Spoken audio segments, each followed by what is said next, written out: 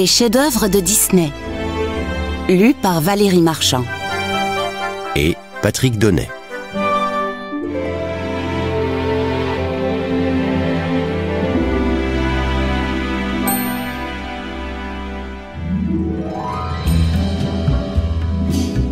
Le livre de la jungle.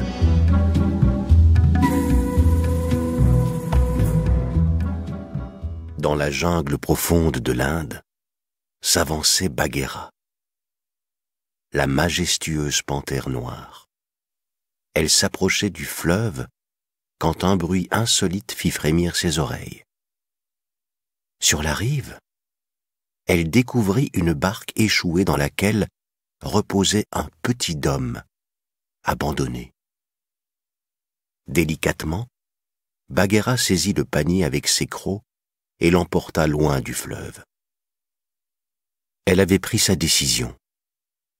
Elle le confierait aux bons soins de Père Loup et de Mère Louve, qui élevaient leurs petits avec douceur et fermeté. Bagheera déposa son précieux fardeau à l'entrée de la tanière de Père Loup et de Mère Louve.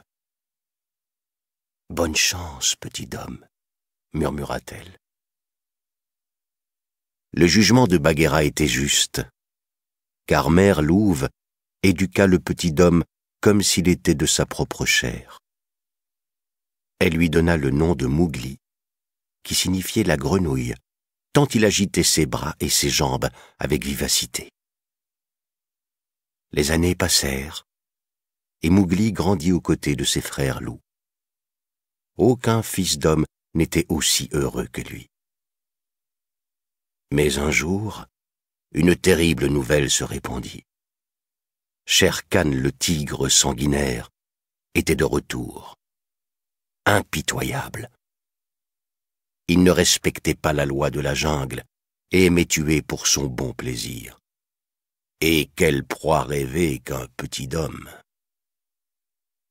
C'est ainsi qu'une nuit, la meute des loups se rassembla sur le rocher du conseil. Akela, leur chef, prit la parole.